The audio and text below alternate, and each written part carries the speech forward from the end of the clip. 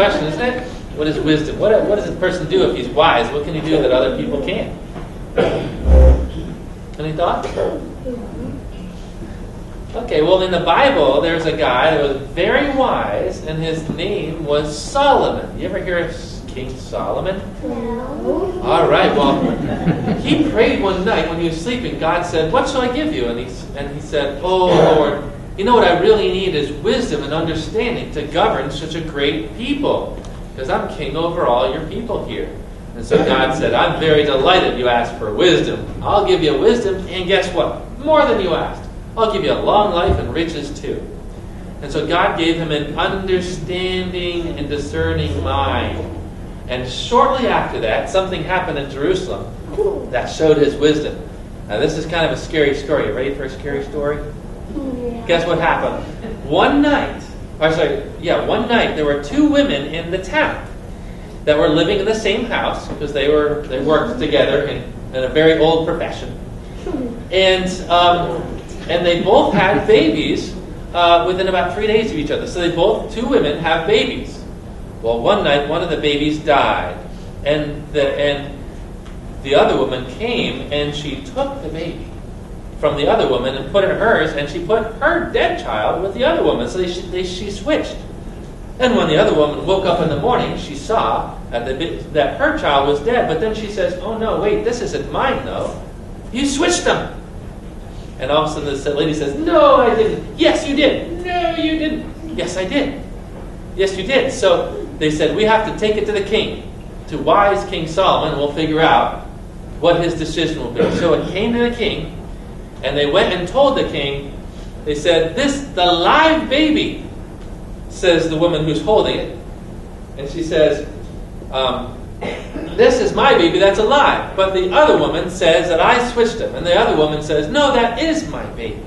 Because we both had children, and she lay on hers and it died at night, and she switched the babies. That's my baby.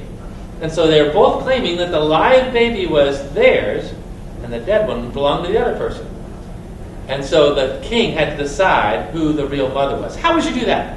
Mm. Here's the baby. But they can't tell who it is yet because it's only a couple days old. How is King Solomon going to decide who the, who is, is the real mother? He has, what has he got? Wisdom. And he's going to find out who has the real mother's love. So you know what he says? He does something very scary. He says, All right, here's my judgment. Bring me a sword. And they brought a sword. And he says, All right, this woman says it's her baby.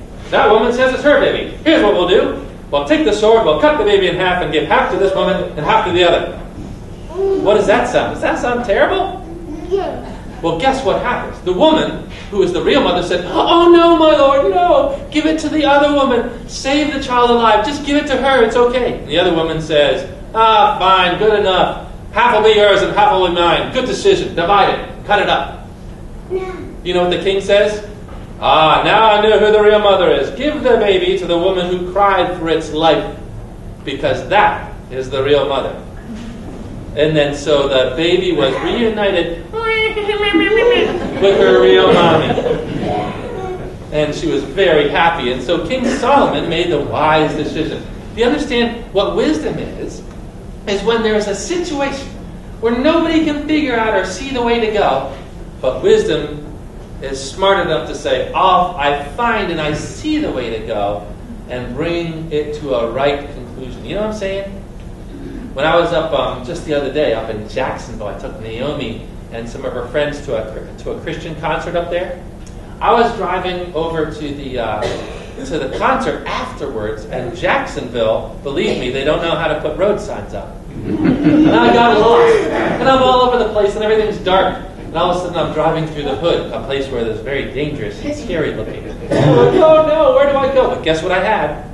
I had my phone, and I had GPS on it, which is also called God's positioning system or something like that.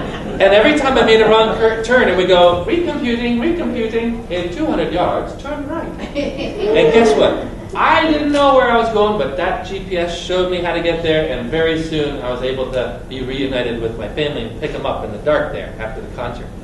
Well, wisdom is like that. It teaches us the way to go when you don't know how to find the way. Do you ever get confused in life? Yeah. You know what we need to do? We need to ask God, God, please give me wisdom. Say it. God, please give me wisdom. Say it. Not yet. Say wisdom. Wisdom. God, please give me insight. Say insight. Insight. Give me understanding. Exactly. You know what He's going to do because He loves you? I'll put it into your mind. I'll put it into your thoughts.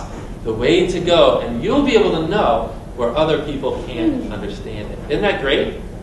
And Solomon said in the Bible, wisdom is greater than weapons of war. Because if you use wisdom, you can beat the whole army just by understanding the way to go. All right, let's pray. God, we thank you for the wisdom of Solomon. We thank you for the greater wisdom of Jesus. And that you can put that wisdom into our own minds. Grant these children wisdom, understanding, insight in their lives, knowledge that they might walk in the way of truth and see the way that their steps may be secure. Amen. All right, God bless you and happy birthday.